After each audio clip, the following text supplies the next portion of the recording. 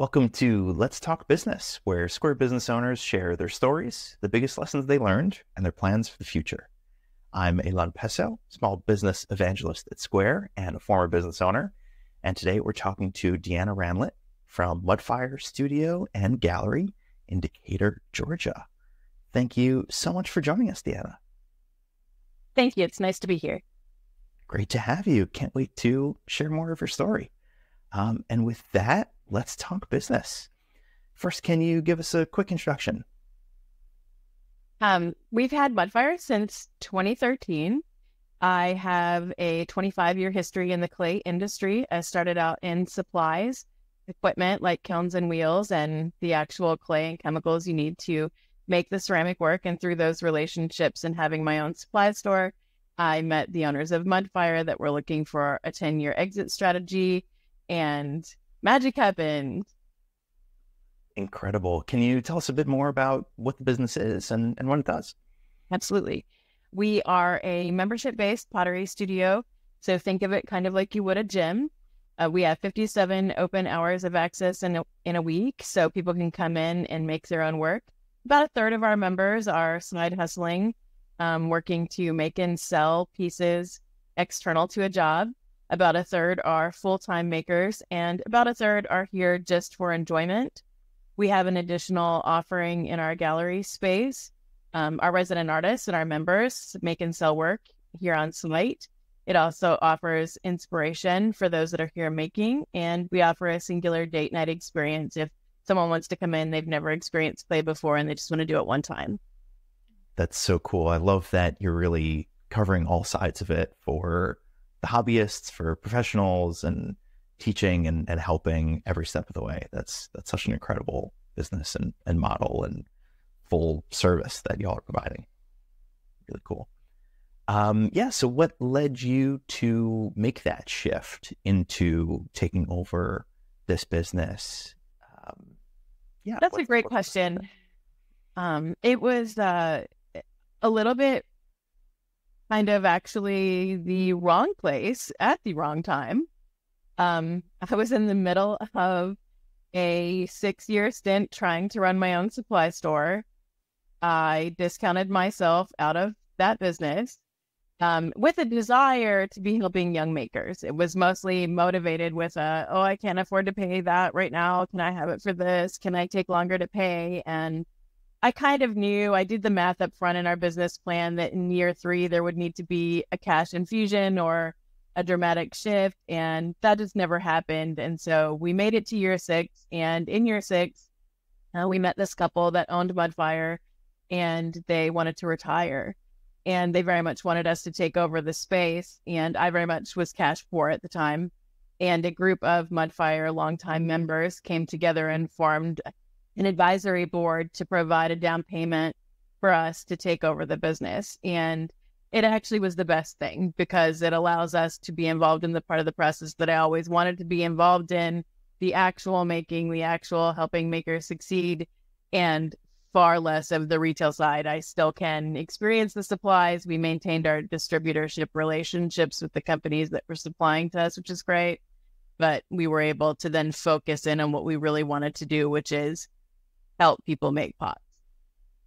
Incredible. Yeah, it sounds like everything for better or worse all lined up at, at the same time. And I think that's something that a lot of folks can relate to. And especially it really speaks to you and your passion is that you tried so much in, in the teaching side that it ended up costing the business, which is mm. really unfortunate, but it's really, it, it shows how much you care and how much your drive is to help others. And it's really incredible that that ended up helping and members ended up giving back to you to, to get it set up. And, and now you get to give back even more. That's, that's so wonderful.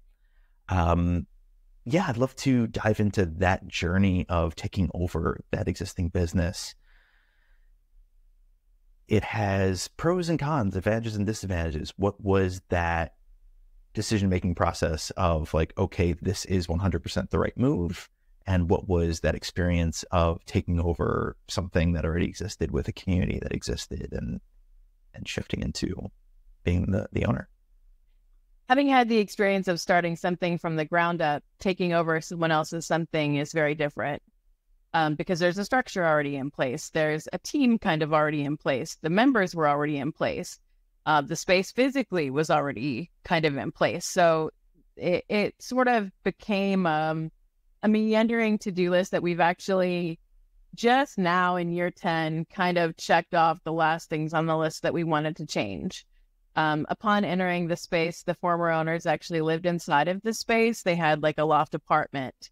And uh, in week one, I tore that down and we created a uh, makerspace room for a business residency program.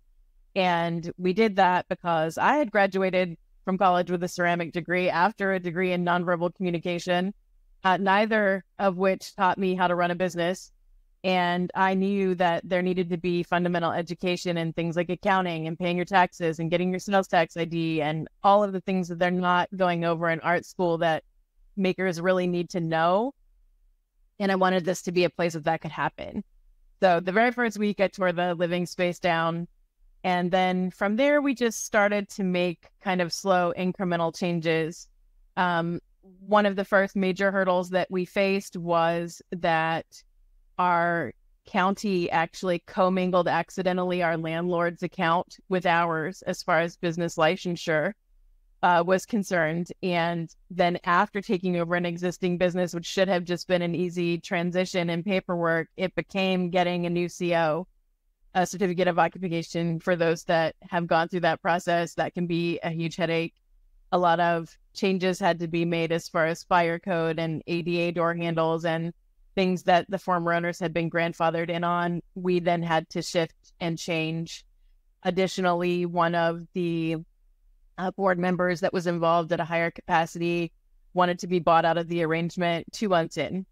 Um, they decided that running a pottery studio was hard and immediately wanted out. So that was something as a fledgling, brand new takeover business owner, having recently come off a failure, um, troubleshooting and navigating, you know, with an attorney, the buyout agreement and all of that. Ultimately, again, a good thing because it left me with full control. But it was um, it was neat for Fanny Fart at the beginning, especially with just all of the newness of the studio in general. Um, as far as the processes and things like that were concerned, we just we just sat down and drafted a plan. What do we want to do in year one? how do we want to be able to increase membership space? When do we want to purchase new equipment? How are we going to change kind of institutional things like these are the glaze colors that we have, or these are the clay bodies that people were used to? And you kind of have to navigate through those relationships almost one at a time sometimes when you're taking over a business that's already there because those people are fixtures in the business at the beginning. And so a lot of that just took a lot of time and and this year we paid off our promissory note to the former owners. And so we're we're in the clear and they want to sell us the building, so that's the next adventure. But it all just becomes one big to-do list. Yeah, that's a lot of things to have to do. It's it's almost like starting from scratch in in that you have to do a lot of those things. But yeah, you do get at least some of those advantages. Um, congrats on paying off the note. That's huge. It's that's it's a long journey to get there, but that's a major accomplishment. So you should definitely feel really proud of yourself and and that shift to next buying the building and having that as a milestone goal is is fantastic. Um, we talked about some of the the challenges that run into it. What have been some of the advantages of of taking over an existing? the advantages for sure were uh, that the system was already going and the customers were already here. Um, the system that Mudfire set up in uh, 2001 when it started was very, very different than what was available for pottery classes nationwide. And since then, Mudfire has become kind of a footprint for other businesses like ours because almost every institution um, dealing in ceramic education dealt with it from a class footprint, meaning that you signed up for your session of class, you attended your class time, and that was it. And what that leads to is sort of a, stymieing of your creativity and your ability to explore fully the medium and the material because you have to practice to get better at this. It's not something, there's very few people that walk in our door and are just like, I'm a natural at this and it's just going to happen. It is something that literally takes hours and hours and hours to practice. So the model that the former owner set up, they were um, coming from the marketing and executive side of the world. And in post 9 11 time, they said, This isn't very fulfilling. Um, we want to do more with our time. We want to do more with what we know. And so we want to create this pottery studio. And their vision for it was to have open, free range access to education and time. And so we have an open footprint model, meaning that there's 57 hours a week that someone can come in and use the space, and there's not restrictions on that. So if someone wants to camp out because they have a work from home day and they're able to take their reading with their headphones, they can do that and they can make pots all day long. And what that leads to is people that tend to stay for a long time. They don't come, get frustrated with the class, miss a few classes because their kid was sick or something was going on with work, and then leave. Um, it allows them to kind of, we call them fam, mudfire fam, because there are some people that have been here for the entire duration of the 10 years that I've been here, and some people that are from before I was here that are still here. And then we add new people to the mix all the time. But it, um, it definitely was a benefit to have that unique structure. I don't know that it would have occurred to me to do that because I'd always worked on the creative side of things and probably didn't value that independent access as much as someone that was trying to cram it in around an existing work schedule like the former owners. And I think it was pretty genius. And now many, many places have a more open access footprint like we have.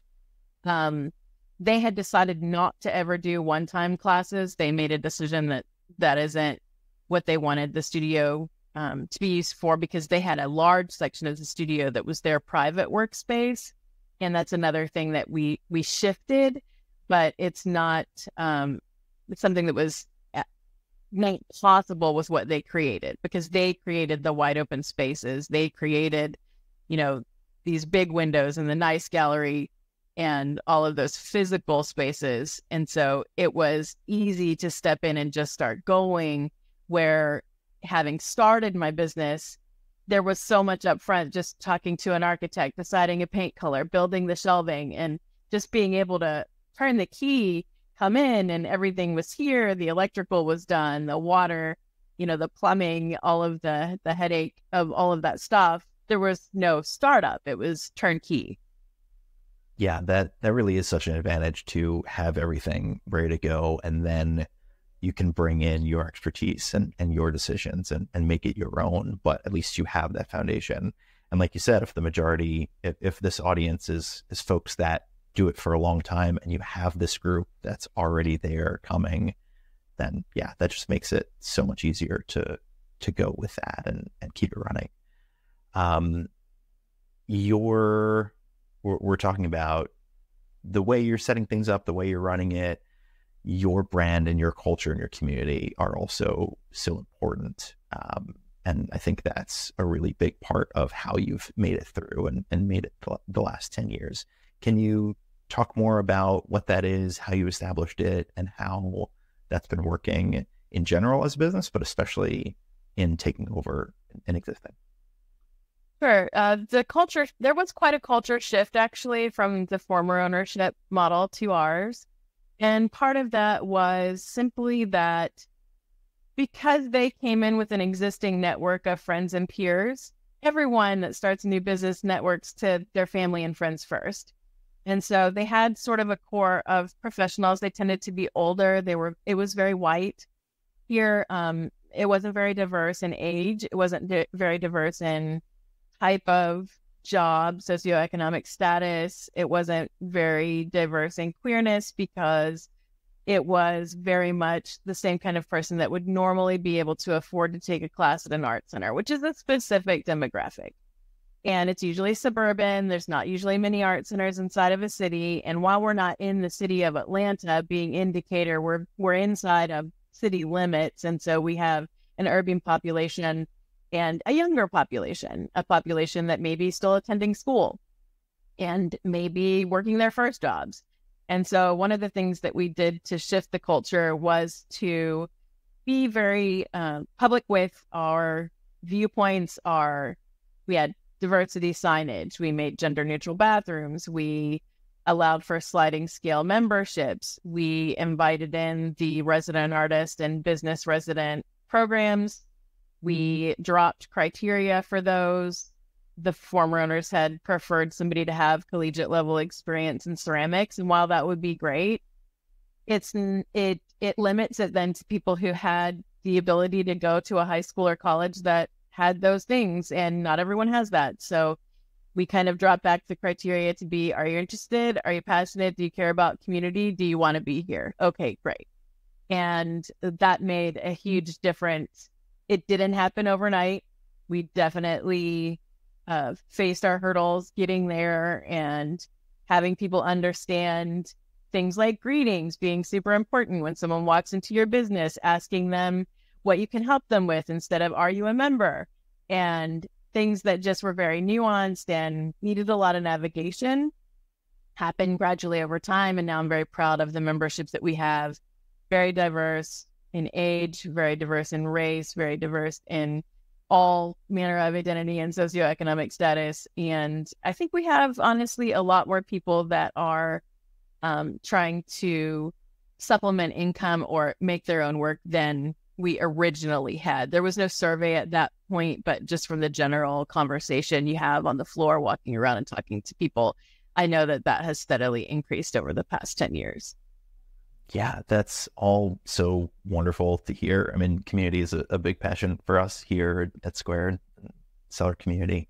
So it's so great to hear that you've been making that shift and like you said, making things more equitable and, and open for other people who want to start their own business and, and to enable more more folks to do that. That's just so great.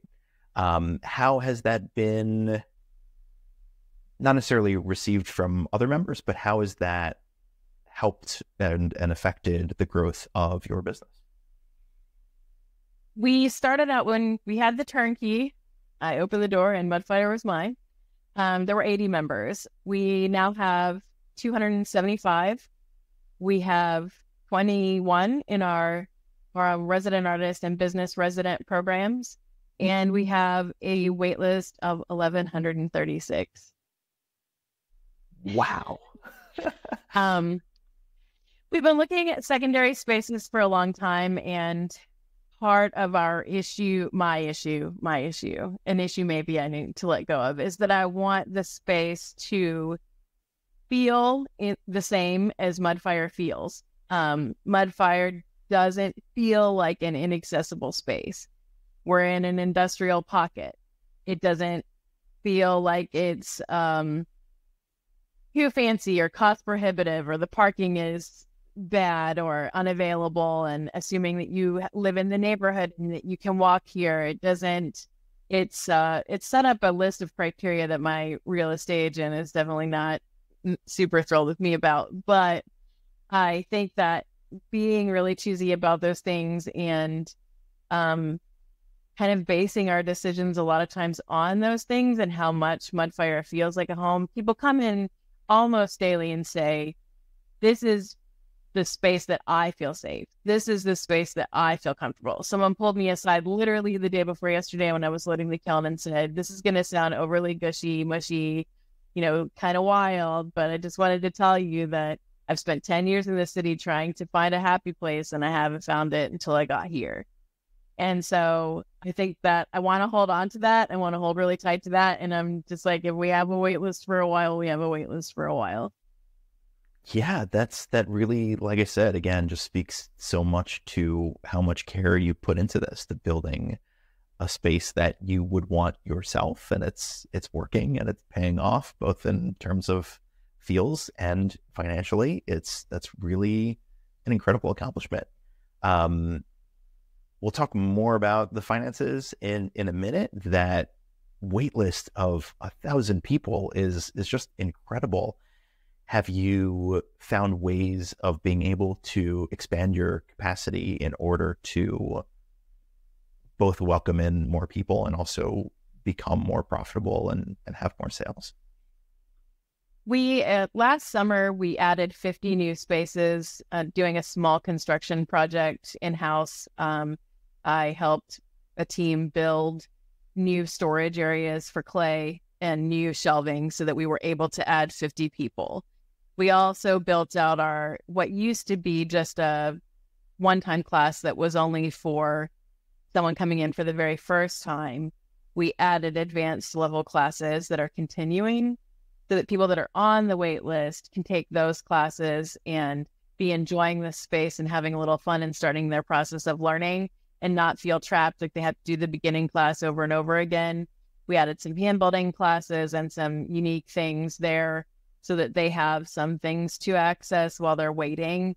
And also just doing more housekeeping with our membership list. Like back when I first took over, I was grateful for each and every 81 of those people, you know, and it was like I would never be like, your credit card's coming up on an expiration date. I haven't seen you in a little while. Are you still using the space? No, I feel more comfortable to have those interactions. Sometimes people want to hold on to the space because they really want to have the dream in their mind. I will get into the studio. I will make some pots. And at the beginning, like holding on to that a little bit of that scarcity mindset from the failure of the first business, but also just that there were only 80 members. I never would have encouraged someone who wasn't using the space to free up that space for someone else. And now we we actively have those conversations and I say, hey, if you want to come back, we'll skip you ahead on the membership wait list, but let's let this spot go to somebody who can actively use and engage with the space right now um, over the years, we've been able to expand our equipment, our wheels, and our kilns, and to keep up with the growth in membership. So we're able to service the capacity that we have. Uh, we've been talking about expanding the physical space, but we are bracketed. I'm sure you've heard a little bit of the road. We're bracketed by a railroad track, a road, and a MARTA line, which is our public transit in Atlanta. So our variances would definitely be a fight with the city to be able to add on to the building and I, the only way we could go is up, which isn't super conducive for hauling heavy materials and stairs and heavy boards, heavy clay. Not so great, but we've been able to keep people happy with those extended offering classes because they can come in and get a feel for whether or not they actually want to be involved in a process of making or if it's not for them. Totally. That's that's such a great evolution of a business because immediately came to mind is the gym membership model where they want people to sign up and not show up. And here you are past that point and, and you're in the phase of you want people to experience it and that matters more than just that income. So that's yeah, that's that's just a really incredible shift and incredible evolution. And so great that you're taking that approach because some other business owners might be, you know what, let them let them go, but you want more people, you want that experience, and that that first thing that you said of you did a construction project to add more storage for the members' uh, creations art pots. Um, and that enabled you to expand membership by 50 people. That's such a really like smart and insightful way to be able to grow your business without having to expand in, in space. You're expanding in, in storage and you're looking at what those limitations are. And that's, that's really incredible. Um, I'd love to dive a little into, uh, yeah, the, the other things that you've done to make it more profitable, whether it's other business decisions or tools and systems that you've brought in. How has that journey come around to, to becoming profitable and, and be able to pay things off. Absolutely. Uh, it's sometimes it's just taking advantage of little things, biting off small chunks. Uh, we've been talking in the sellers community uh, related to uh, the book club, some things that people are doing to cut expenses, and some of it is things like that. Uh, we took advantage of the Georgia LED light program, for example, and we paid $600 to change the ballast of the fluorescent light bulbs that were all throughout the studio to LED ballasts and LED bulbs. And it paid for itself in two months completely. And the electrical for the lights used to be $31 a day just to flip the light switches on.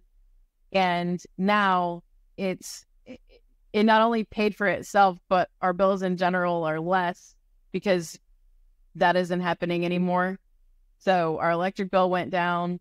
It's cooler in here, which kept the HVAC down because the incandescent light bulbs, especially in the gallery, were hot. I don't know if you've ever been in a gallery space, but if you stand under those lights, they're hot. And so replacing those with LED kept the HVAC down. Last year, we bit off a bigger chunk in re roofing and insulation. We did a TPO roof with the extended insulation. And so that's been saving a lot on the energy bills. We didn't even have to turn on the heater a couple of months this winter because it was insulated enough and with people in here and moving around, it just, we didn't even need to. And then it wasn't the case before. This is an old 1960s era building. It has, you know, drafty windows. It has uh, the concrete floor, and it can be a, little bit of a suck energetically speaking. But when the architect looked and reviewed our bill, he said, That is so close to the bill for my house. The bill for the front studio spaces went down with all of those uh, additions to what literally was about $100 more than his house. And our kiln room is another story. There's nothing I can do about that. but that's that's that. We started um, after I read the Profit First book, we started putting away profit. I had come from sometimes believing that profit was bad. If if you had profit at all, then you didn't invest enough back into the business. You didn't change enough. You weren't doing enough. It wasn't good enough, and it was hard to just be like, no. There needs to be this little nest egg that's going to be for the future. And the future in our case is buying the building. The owner definitely wants to sell it to us. We are on our way. I have 50% of the deposit already and we take a little more away every month. And that's what allowed us to do things like the roofing and those kinds of programs. But as far as shifting to change profitability, I think the major shifts were just having teams that were more engaged with the membership base. And that led to the positive word of mouth, having people all here learning at the same time I think dropping those requirements and having the staff be kind of learning alongside with the members was really helpful because it did really form a community of people that were learning together and on the same path. And that dramatically started to shift the amount of members that we had. We started at that 80. By the end of the first year, we had gotten up to the capacity at the time, which was again more of an organizational problem that the former owners had set up, but our capacity at the time was 170. And so by the end of year three, I had added spots to get it to be 200. And then we kind of ran with the 200 thinking, I don't know, can this work? Do we need, like, how, how would this space look? And one of the first things we did was so strange. cut a foot off the tables. And it sounds kind of wild, like, well, why would that matter? Why would it matter if you're looking across the room for the tables to be a foot shorter? But it did because it completely opened the space and allowed people to see each other. And once they were, the space was more open and it allowed them to see each other because you're sitting over a wheel and you're sitting on a stool that's about 18 inches high. So if your work table is in your eye line and you can't see across the space, it feels really crowded. But when we dropped the height of the table, it felt really open. And no one, we did the project of building over the weekend. The members did not notice and added 50 spots they came in and said, You painted something. And really, we extended the footprint of the shelving by two feet. And because I cut the tables down, no one noticed. And so it was just, it's, I think this is a lesson for business owners that sometimes it really is something that's just almost imperceptibly small that can make a huge difference. And the, for us, adding 50 people, that's $155 a person a month and we did it over a weekend. And that and then that money was able to start coming in and become the new nest egg money. So yeah. sometimes it's just small small things. It's incredible. Yeah a weekend and hacksaw and you yeah. increased by 25% that's incredible. I, I really see that as a big theme in everything you've been talking about is making these small changes that you wouldn't think have such a big effect but really do from like you said, the way you're you're greeting your members when they walk in the door with dropping some requirements to little inclusivity things to adding more storage to increase, but all all of this is really at the light bulbs that you're saving not only electricity but then HVAC, which I'm sure HVAC is so important to pottery. Um, and, and the right temperature control. Like all of these little things are making such a big difference and saving money, bringing in more money, creating a better experience. That's such a, a big lesson to learn and, and just incredible that it's had that effect. Um, what's with with that? What's the plan for the future? Where where do you see yourselves going? Uh, you mentioned potentially second location. What other growth or stability do you, do you see?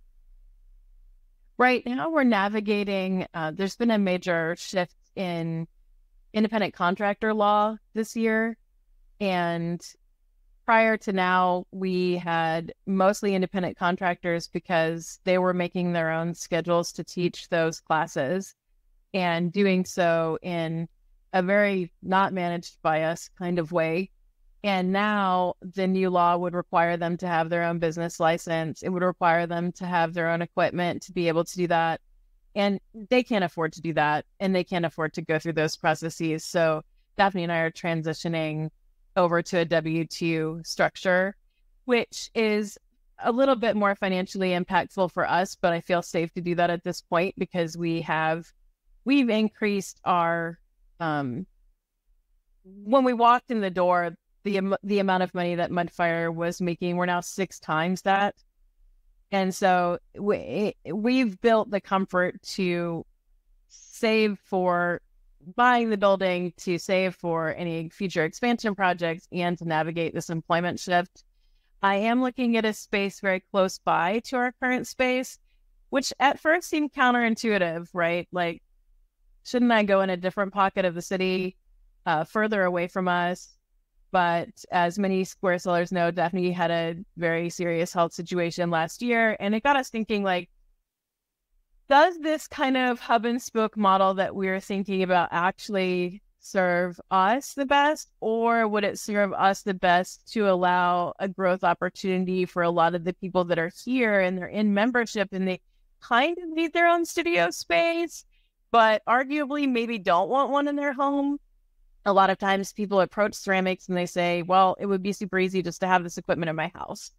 But there's a lot of associated um, electrical problems. The the equipment draws a lot of energy.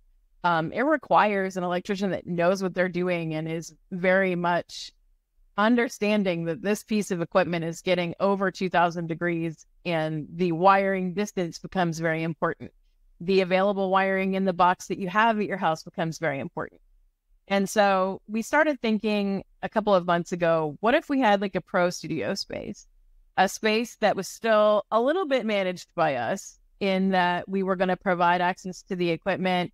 We still have the distributor relationships for the materials and that kind of thing, but maybe they have some more independence. They can mix their own glazes, they can load and fire their own kilns, but it's in a safe environment.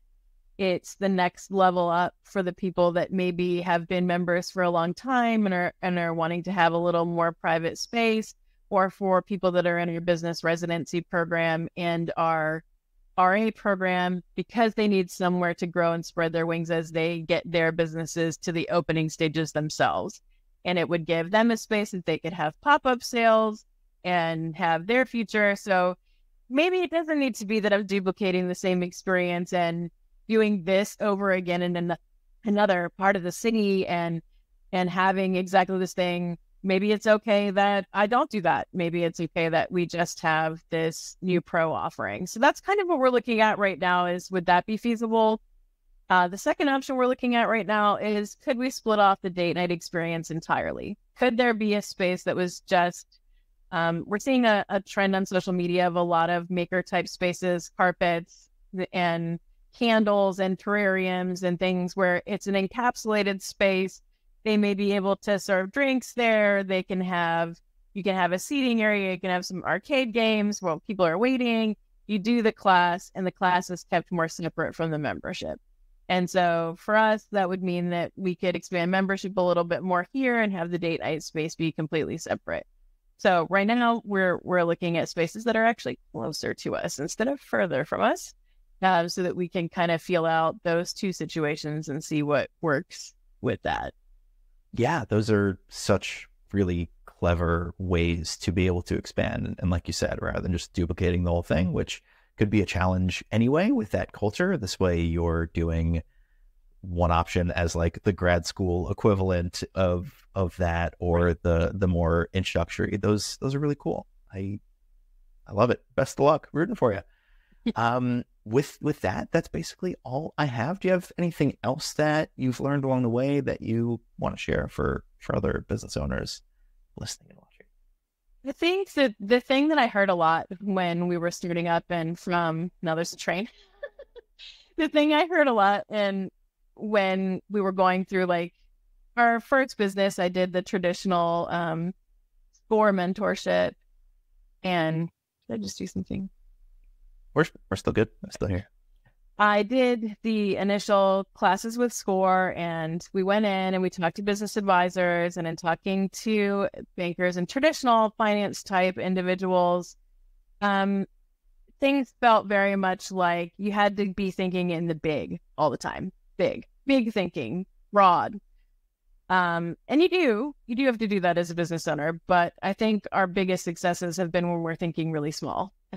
and like you said earlier, those little light bulb things, it really did make more of a difference to the business to change the way we greeted people than it would have for any number of other financial decisions like which clay company I'm ordering our materials from.